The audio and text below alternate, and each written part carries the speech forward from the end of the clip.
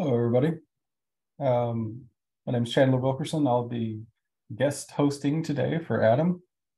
And just wanted to get a couple, you know, questions out. Uh, do you guys usually wait until like three minutes after the hour in order to start the meeting? And is this agenda good? Yeah, we usually wait a bit to uh, to give people some time to put in topics, uh, maybe add some more issues from the filter. Okay. That three minutes seems fair.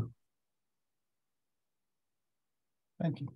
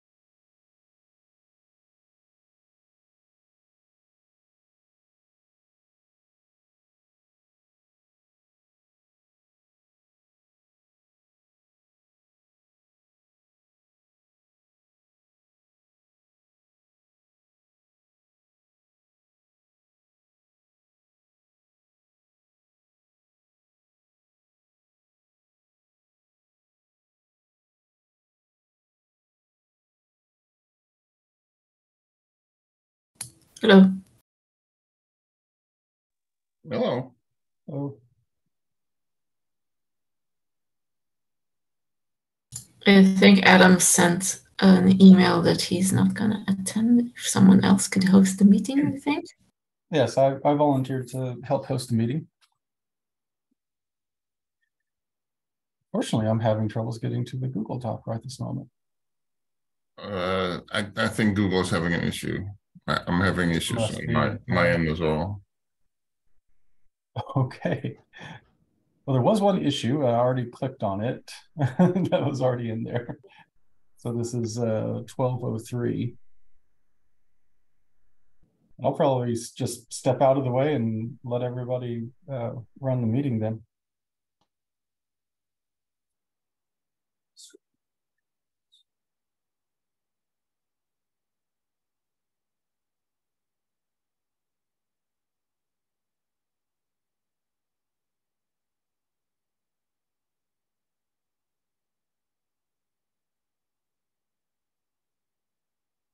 Well, from silence, I'm guessing I need to do a bit more. So what is the usual tag? Well, usually uh, there's more stuff in the agenda. Um, but we've been going over quite a bit of stuff. So I don't really know if there's any. I I, I have a a little bit of an esoteric issue that might make sense to talk about. Um, I've been working on this for the last few weeks, and um, it's uh, it's not CDI related. It's it's KubeVirt related. Um, and essentially, KubeVirt has some uh, supporting containers um, that have a very high request to limit ratio. Um, the biggest one being the hot plug attachment container. Um, because that, or actually, it's a it's a pod. It's not a container. Oh, it's a container in the pod. Uh, um, but essentially, the container does nothing. It its entire purpose is to tell the kubelet to attach the volume that's been referenced in this pod into the node. And then the hot plug logic takes over and actually hot plugs it into the virtual machine. Now we've had a uh, user say, hey, this stopped working when I put a uh, limit range in my namespace. And one of the fields you can put on the limit range is the ratio of request to memory or a request to limit for both CPU and memory. Um, and if you have a you know lower ratio, then the uh, attachment pod won't start because the ratio is too high. And I, i will probably bring this whole thing up in the actual KubeVirt meeting on Wednesday. Um, I just wanted to see if anybody had any uh, thoughts on this. Um, the same issue happens for container disks because the container disks have a, a, you know an init container with a very high request to limit ratio. Uh, VirtIOFS also creates a container to get the VirtIOFS uh, into the virtual machine, and then any sidecars.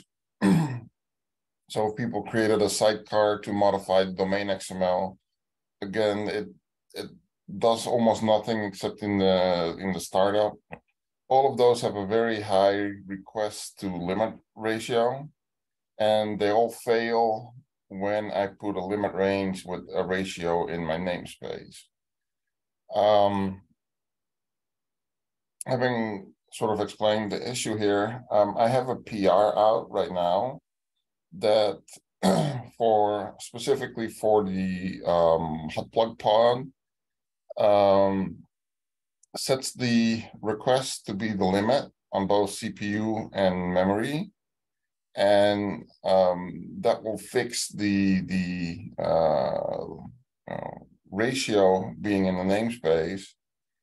Um, it's just a little bit of wasteful because I am essentially reserving CPU and memory for a container that doesn't do anything. Um, but it only happens if you actually hot plug a disk. If you don't care about hot plug, you know, it, it's not going to affect you. Um, so my question is how uh, how much of an issue would that be for people that I am actually now um, reserving essentially it's only like 80 megabytes of memory. It's not like it's a huge amount of memory, but um, it, it's an issue for people if we do that. Um, or am I going to get pushback on that particular PR?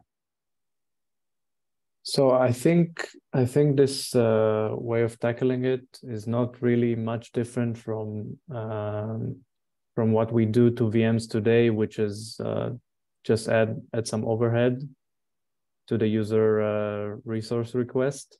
Right so uh, I think it's not the end of the world. It's uh, it's you're basically doing the same thing, but for uh, for a sidecar pod. Right. And regarding the way forward in general, I think uh, the kind of API that we have in CDI is basically the way to go. I, I can't see another scenario where it's uh, where something can take a place of a full blown API that gives you an option to just put your put your defaults for these kind of pods, right, and uh, be happy with it. And and just so everybody else knows, um, in CDI in the CDI CR, you can set a configuration where you tell it use these requests and limits on the worker pods. Um, and you know you can use that essentially to get the correct ratio you want if you have a, a limit range with a ratio in it. Um, um, or you know if if you have a a particular image that for whatever reason uses more memory than the default you can increase the the amount of memory that's available for the pod um, so I, I I don't know how many people we have here that that are running this on like large clusters or anything like that, uh, doesn't look like we have too many people that will do that. Um, like I said, I'll, I'll bring this up on Wednesday on the uh, meeting itself. Hopefully we'll have some people there that, that, you know, run this on large clusters, because I, I suspect for people with, with small clusters, it, it's not going to matter that much. But if you have large clusters, you know, all the little uh, reserved pieces of memory and CPU might add up. Uh, Alexander, I will try uh, directly the mailing list. I don't know if on Wednesday we have so many people. Right. Yeah, well, that, that was my, my one and only issue that I had.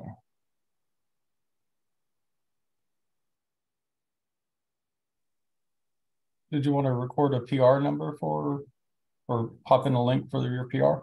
Uh, yes, let me go find that for a second. There it is.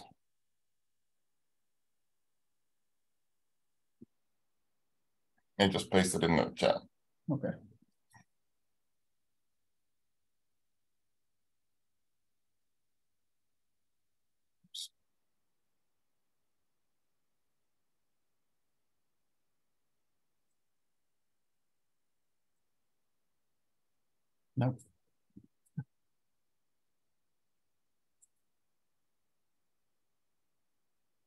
There we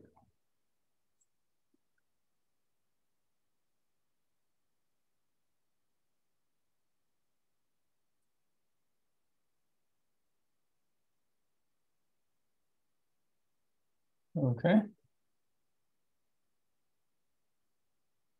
Does anybody want to talk about 1203?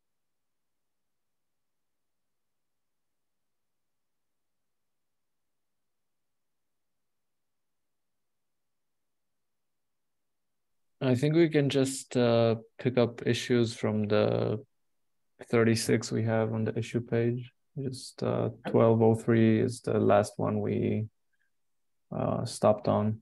Yeah, we, we started at the bottom and, and, and moved our way up just for like the first time. And we stopped at 1203 last time. Oh, we've got two pages here. Okay. Yeah, we're, we're- we're not like KubeVirt where there's like 600 pages. uh, No wonder. Uh, no, no worries, I meant. Okay. So next one up would be, let's try to keep the list here.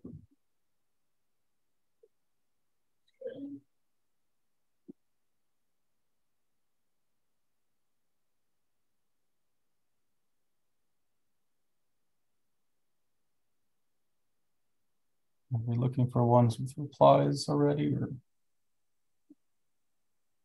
Yeah, I, I think sometimes some of these have fallen through the cracks. We usually try to triage them as we see them. Um, this this one is is like really old. It's like you know CDI version one point sixteen, and we're on like one fifty something. So, um, but I, I think the issue still remains. Um, so essentially what happens to get you know progress updates in, in data volumes is the controller actually directly connects to the the pod and connects to uh, one of the metric endpoints that has the uh, uh, progress update.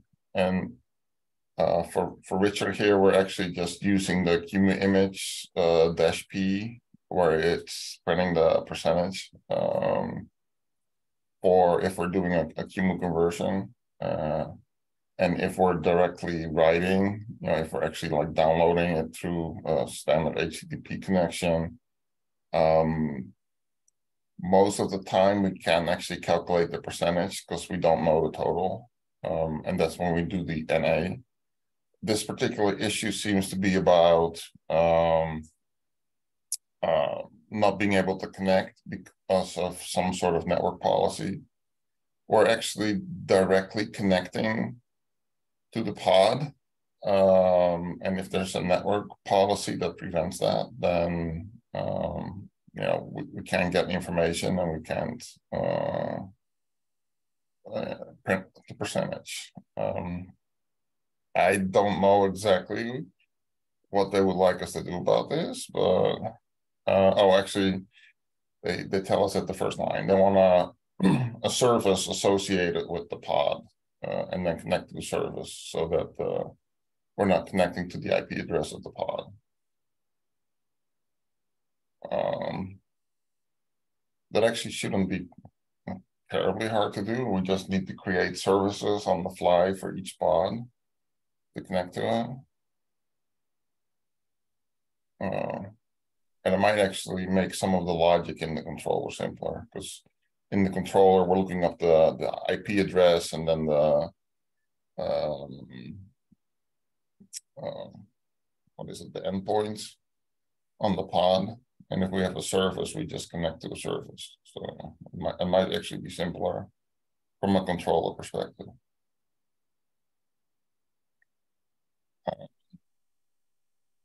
I think you were talking about 1203. I was a bit confused, yeah. yeah, Yeah. I am talking about 12. I was, I was looking at the, okay. Talking about, right? I had, had the screen on the wrong one. I was wondering, Oh, okay. I was just I had- following. My own, so.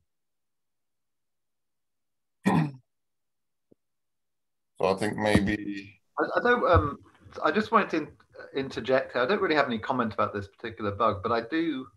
We have a similar problem elsewhere where we want to sort of communicate progress Right. of pods that are, you know, that are doing things that take a long time, and I don't. I don't know of a good way to do it, to be honest. Um, so I'm really. If anyone finds out how to sort of fix this problem in general, I'm, I'm quite interested. So So we, I'm sorry I don't have an answer to this, but I, I'm, I'm interested to know what an answer would look like. so, so what we did for the, the progress, um. So we, we have some way in, in our application to figure out the progress. And, um, essentially what we did is we created a, a Prometheus, uh, endpoint, um. And create, creating one is, is really easy, uh, you just call the library function and. Um, set up the, uh, type of gauge you want. Um, and essentially it's, it's just a zero to hundred gauge, um. Um, and then our controller is, is directly connecting, um, to the pod, to that uh, endpoint, and it, it basically just gets the Prometheus, um, output and finds the correct field and, and displays that. Um, obviously, that's not perfect, as this bug, um, shows us, we probably should not be directly connecting to the pod, but put a service in front of it. And then the service is um, configured to connect to the pod, and then we can just connect to the service. Um,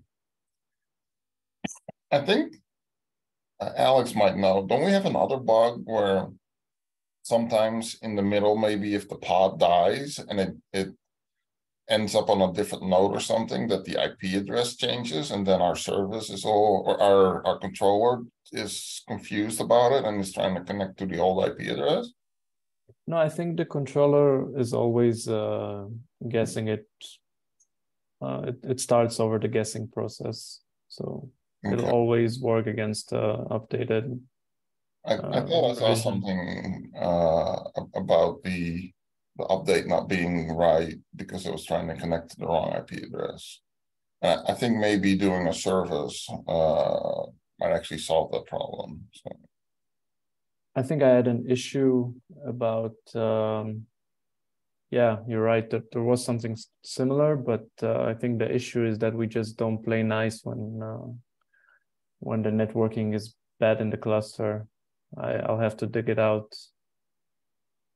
so do, do we think that this issue should actually just be fixed? I don't think it's gonna be very hard to fix because creating a service that points to the pod is, is relatively straightforward, right? You just put a label on it and point this service to the label. Um. You know, we haven't done anything with this. I actually didn't know this existed. Otherwise, I probably would have already fixed it some time ago. I mean, thanks for that explanation, Alex. It does, it does. I mean, I know you say it's quite easy, but it does sound, you know, to my mind, it sounds pretty complicated. You've got a service and you've got something in the pod which is answering requests and Well, the, and if you if you compare it to log files, like pods will just collect, you know, you can just get the logs from a pod easily. Right, um, but how, how do you do that in an automated fashion, right? You have to have some sort of, of log collector service that connects to the pod to, Well, no, hang, well, no, no, hang on. What, what I'm saying, what I'm saying here is that if you, um, it, it just seemed to me when I looked at this that that that there should just be a way for, in the same way that log, logs are collected, there should just be a way. Um, and this is nothing to do with Kuba. This is like an entirely a Kubernetes thing. There should just be a way to to signal some small amounts of data like that from inside the pod to the metadata of the pod. Just I don't I don't have a like a plan here or anything. I'm just saying it, it sounds really really complicated for something that must be really obvious and everyone must have have this problem at some point. So um, it, it's basically all about do you want your workload to know that it's running inside of Kubernetes?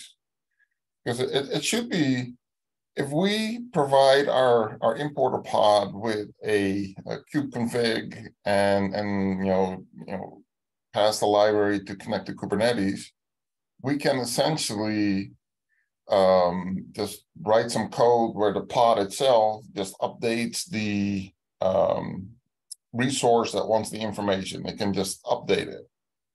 The thing is, we were um, we don't really want to let the pod know or the, the the the application that's running in the pod know that it's running in Kubernetes because then it's like linked to Kubernetes. So if you don't want to do that now, then you need to somehow get this information from the pod and uh you know the prometheus endpoint every day is one way um you could do an http endpoint where you just connect to the http endpoint to get some information that's another way it, that's essentially what the prometheus endpoint is It's just an http endpoint but um prometheus has a bunch of libraries that you can use to to get this information relatively easily um so in, instead of pushing the information from the, the, the pod itself. Now you're like polling it, right? You're just connecting to it like, okay, has something changed? Has your progress updated, etc. Uh, it's it's just sort of like a, a philosophy um, thing. If, if if you don't care that your application knows it's running in Kubernetes, it's probably simpler to pass it a kubeconfig that it can use to update the resource itself and, and let the application do that. Uh, but if you do care, then you have to go through some gymnastics to, to get the information. I guess a kube config would be it'd be hard to make that secure, wouldn't it, as, as well? No, it's um, uh, it's it's actually not that bad um, because if you start pod as a certain uh, service account, um, there's a secret that's automatically injected that is the kube config for that account, and um, it's it's in a in a stable place. So you can just read that kube config and build your client from there, and then use the client to connect to the Kubernetes um, cluster and, and do the updates. It's it's not super hard to do, and, and all the information you really need is is there. Um, but the, the problem from from my perspective is just at that point you've linked your application to Kubernetes, right? And you, you can run it outside of Kubernetes in, in another orchestrator for you know if for whatever reason you want to do that. Okay, okay. Uh, Just another question is, is can you snoop on files in the pod easily? I mean, maybe we could just write the data to a file and then. Uh, well, essentially, what if you if you mount a secret in a pod, it shows up as a file somewhere. So if your user can connect to the pod and and uh, then you can snoop on files, yes. Uh, but if you're using and connect to the pod, then it can essentially do anything already. So it's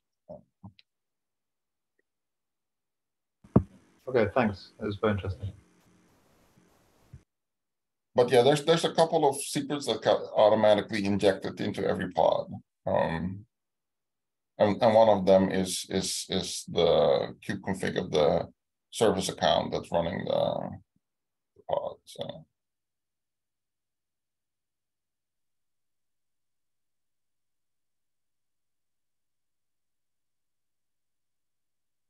so let's let's um I, I think we should let's get back to this this issue. I think we should actually do uh should fix it. Um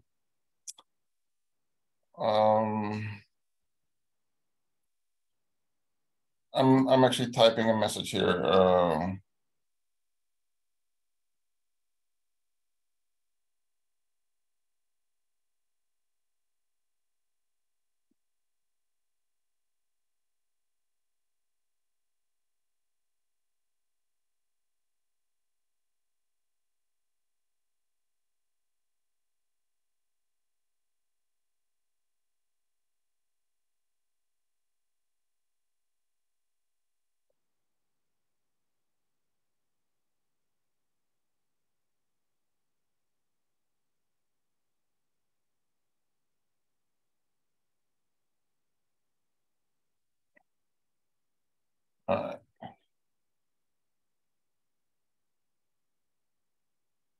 so now if, if if they respond, uh, at least I'll get the the email here. Okay.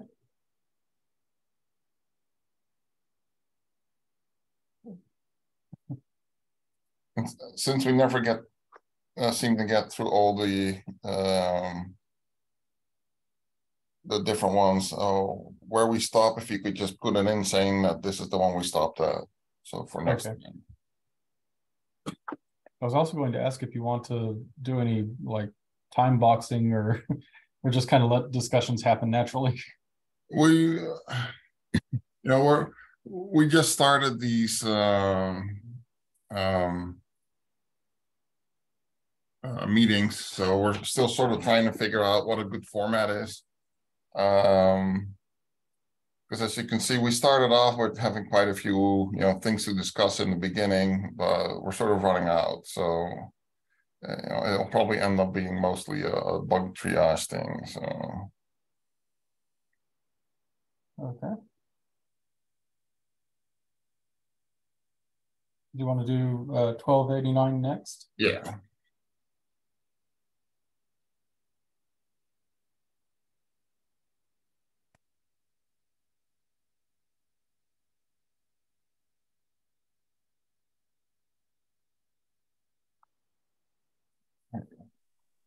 So the Ceph CSI people, uh, it's actually pretty surprising that they want to use CDI to kind of have uh, like a happy path that tests their uh, CSI driver. A Yeah, really but- interesting issue. But, but the thing is, our, our test suite is really large and it does a lot of different things and, and not all of them are related to Ceph CSI, so. But couldn't we couldn't Go we give them like a label, uh, like a few happy flow tests that are lab- labeled, and uh, then they could just run that small subset? You know, like maybe the um, maybe those parameterized data volume tests, you know, the ones that do import, clone, upload, and the same. The same describe block. Well, doesn't, uh, did we upgrade to Ginkgo two yet? And, No, we did No. not. uh, doesn't Ginkgo two have, have an actual label? Uh, on the test where you can actually put a label? I, I've seen those in KubeVirt, so I know KubeVirt is on two oh already. Um, Yeah, but you could do it in Ginkgo one as well. Uh, we do it for the destructive tests.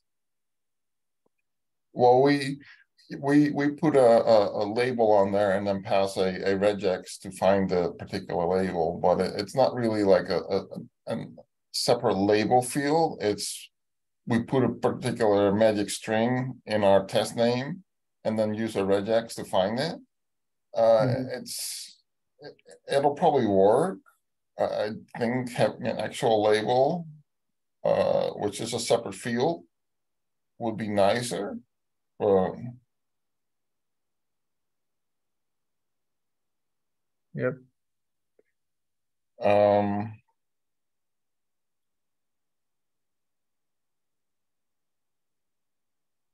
We probably should do this. Do we have a card for this?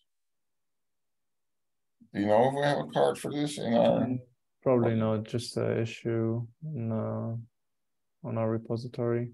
okay, so.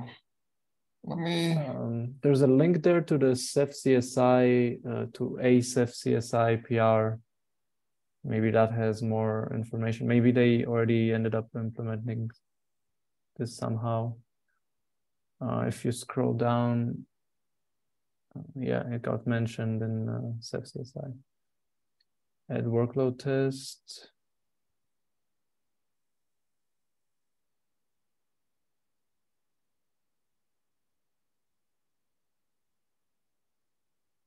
Okay, no, it's just uh, basically the same description as the CI issue. right. So I, I think. If we can just put it at least on our backlog, on, on Jira. Then, you know, we'll have a chance of it actually being scheduled for sprint. Again, I don't think this is going to be very hard. It's just we need somebody to actually do it.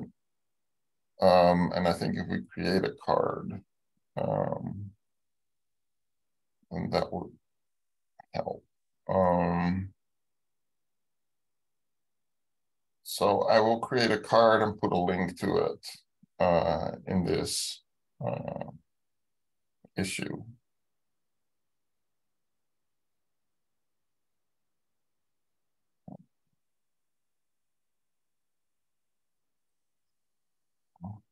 Okay. Would you like to go back to the list now or wait until? Yeah, yeah. Let's let's go back to the list, and I will I will I'll create a card uh, for it and, and put a comment in there. All right.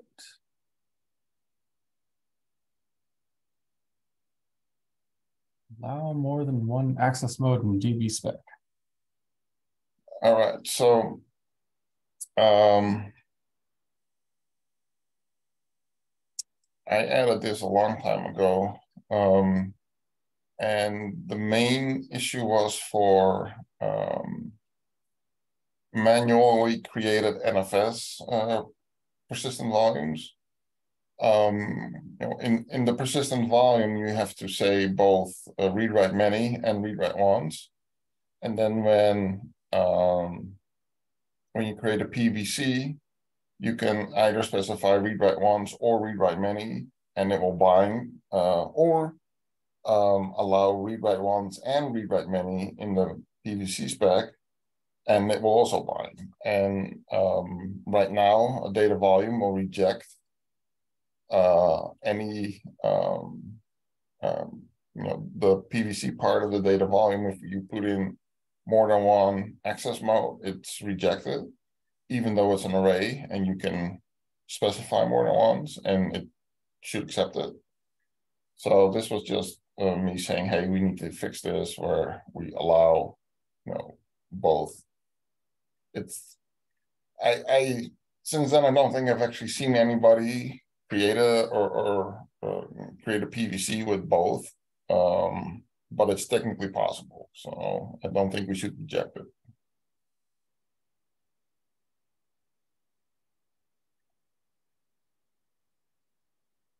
Um, and if, and if uh, actually we, we can probably close this um, since I've never actually seen anybody do that. It's just one of those. It's theoretically possible, so we should allow it, but nobody's ever actually done it. So Yeah, I have seen a, a use case where you create a DV and you don't necessarily, like if you don't uh, specify one of those modes, does it just kind of accept whatever the default storage class provides? Uh, no, so if, if that we've, we added, since then, we've added a, uh, storage specification, so, um, as part of the data volume, you can either provide the PVC, I'm gonna call it a template, the PVC template. And, and that's the, the template that the controller will use to create the PVC.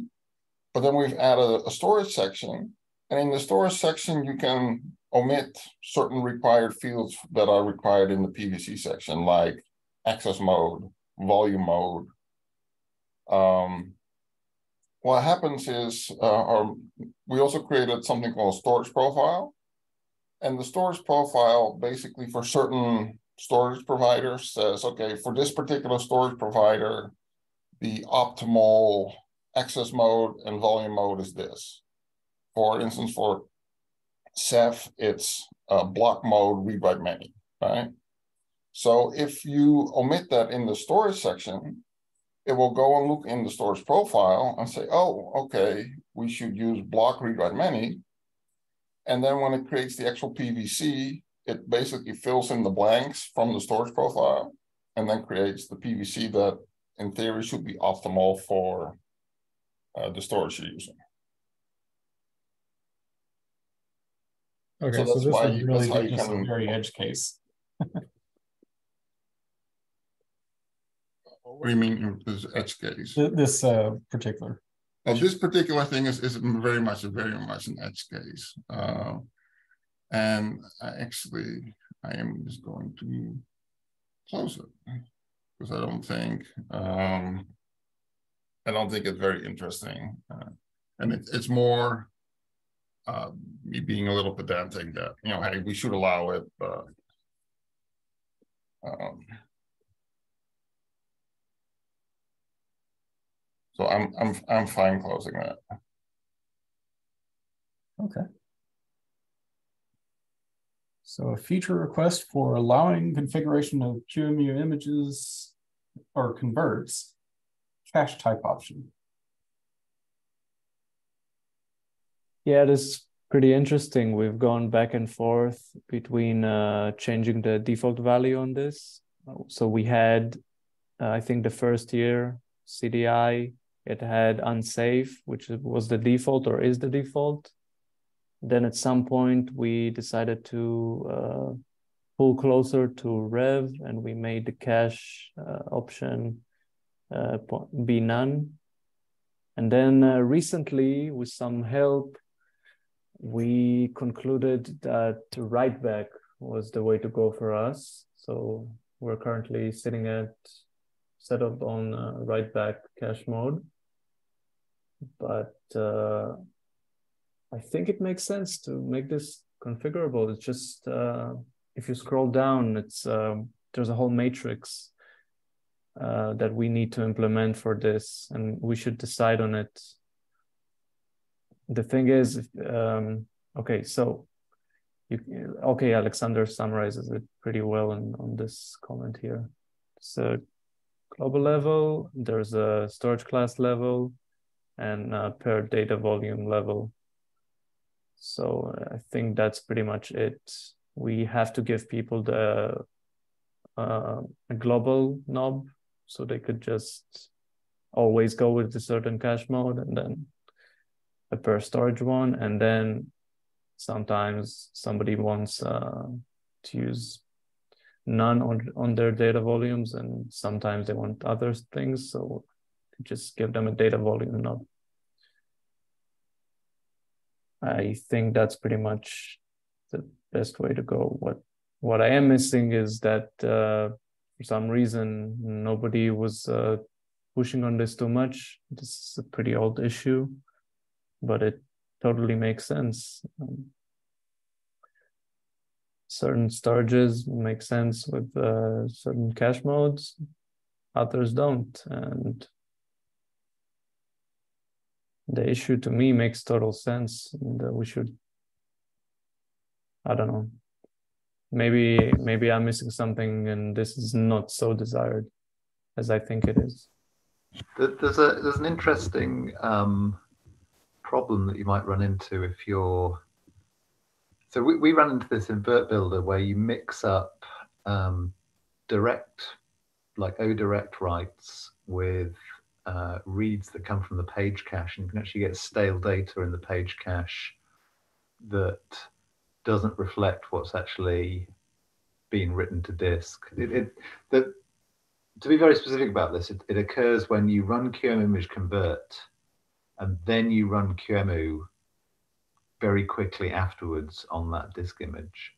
Um, you can have QEMU seeing stale data. And I can't quite remember exactly what combinations cause problems and what don't. You're probably best to ask Kevin about this. Um, so you need to be a little bit careful here with this. Um, you may run into problems like that, and there may even be like a kind of security issue as well. Yeah, I, I think that's the reason why we went with cache none at some point. Um, in particular, we saw this with Gluster and or Ceph, where we had the, the pod that was writing the image on node A, and then immediately once it was done, on node B, we started a VM that was trying to use it, and, and that one didn't get all the data yet. Um, due to some caching on node A. Um, so yeah, it, it's it's actually not an easy problem to solve. Uh, as you can tell, we've we've gone from different cache modes. Uh, Yeah, it's just that for this specific uh, use case, I think we were just uh, kind of ruining this person's flows by using cache none. Like they were just making things uh, slower. I think it's NFS related, NFS uh, 4.1. There's uh, not sure exactly what happens, but uh, from the discussion in this issue, it seems that cache none didn't make sense so they would have benefited a lot from uh, from uh, making this configurable but i don't know what what they would go for instead of none. I th- i don't think the issue has that information. I don't i think it, it would matter that much for uh, you know if we give them all the options then they can pick what's best for their particular use case. Uh, to me, the question more is what level do we want to implement this, right? I, I, I, gave three levels on, you know, a cluster level, a storage class level, or a data volume level, or all three. I don't know. Um, each one has pluses and minuses, right? If you set it at a global level, you set it once and it applies it to everything. But if you have two different storage classes that want different uh, modes, then you can't, you know, express that. Um, if you do it at a storage class level, you have to set it on multiple storage classes. Um, so there's more configuration. And if you set it on a, a, data volume level, then every time you create a data volume, you have to set it, right? If you have a need for a different value than what the default is.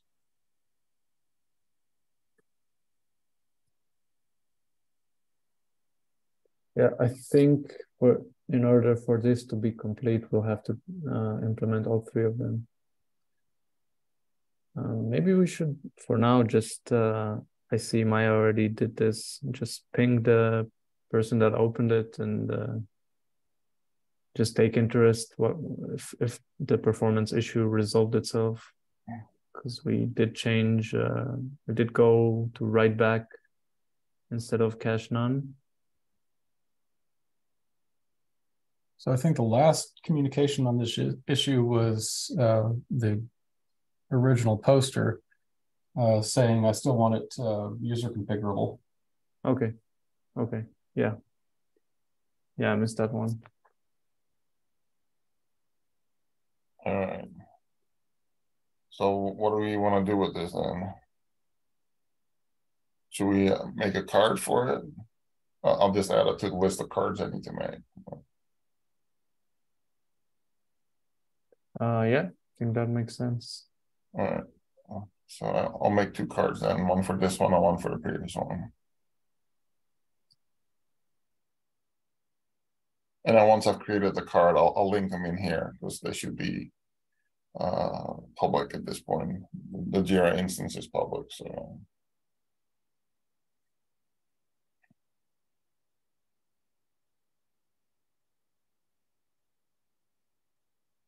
All right, we've got five minutes left till the noted time of the meeting ending. Want to do one more or wrap up? Yeah, we, we could do one more. I think the next one is relatively straight. Well, it's not actually really straightforward. Um,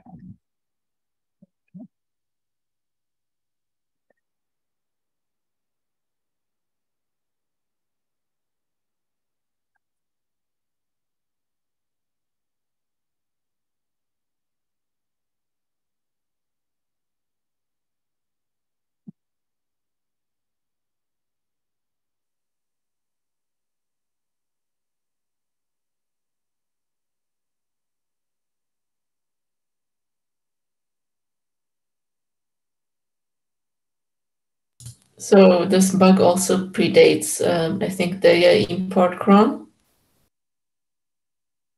yes, definitely. Uh, and the original problem that inspired this, um, it was a rel URL, and instead of erroring, it gave you some HTML and a success success thing. So it looked like a successful import, except it was definitely not an image you could boot.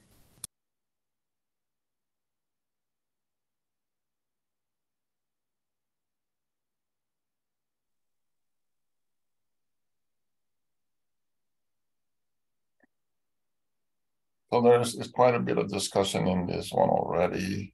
Um,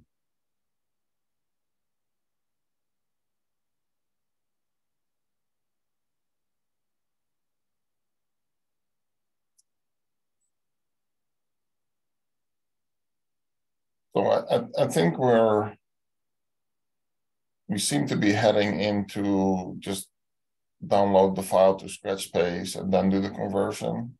Uh, because doing an inline seems to have uh, problems, especially if we have a, like a gzip or a, a, XZ type compression in there. Um, if we do that, then the checksum should be relatively straightforward to compute by. Once we have the the data in the scratch space, doing the checksum is simple. So.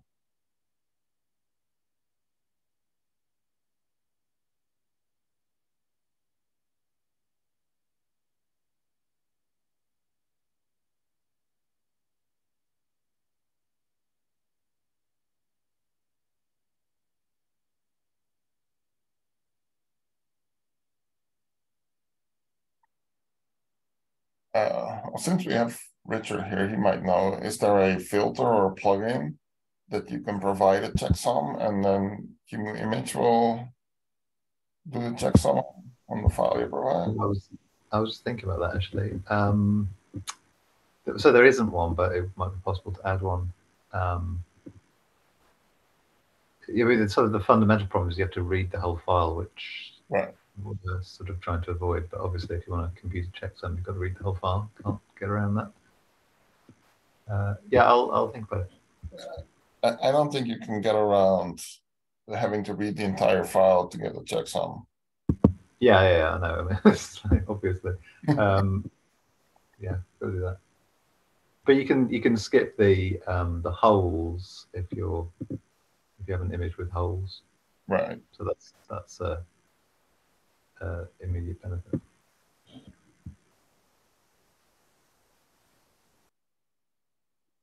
Um, so I think we should just leave this one as the last one we looked at, so that for the next time we'll look at it again and see what we uh, we can get a better answer. Uh, Okay.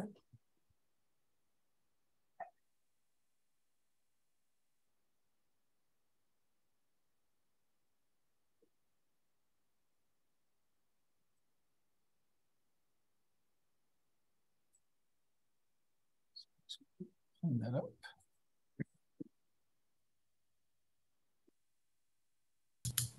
I guess one other thing we could do regarding the original scenario is possibly detect very suspicious looking images that um, like it's uh, uh it gave out HTML so that's detectable that's gonna be like a common scenario. Maybe we can make that into an alert, or maybe look for no uh, partitioning. That's but that's I don't know. Maybe someone really wants to import an image that way that doesn't isn't partitioned in any way. That's there's actually no reason that it can't be that way. It just needs to have a bootloader, I think. So I don't know. But HTML is probably wrong if it's a valid HTML. Right, so maybe if, if, you know, you should have a redirect, you know, I'm getting a redirect or something, and it just spits out some HTML at you saying, hey, we can redirect or something. Probably should not uh, boot from it because it won't work. But I, think that's a different issue than this particular uh, uh, request. This was really doing a checksum on the downloaded file before you actually try and boot it. So and maybe you know confirm that the, the one you got is the, is the correct one. Right? There's no download errors or bit flipping going on.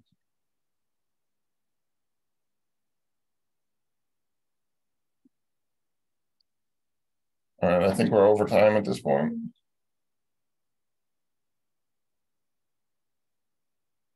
Yeah, I think we can leave off there. All right, sounds good. Thank you, everybody. Thanks. Thanks. Thank Yeah. you.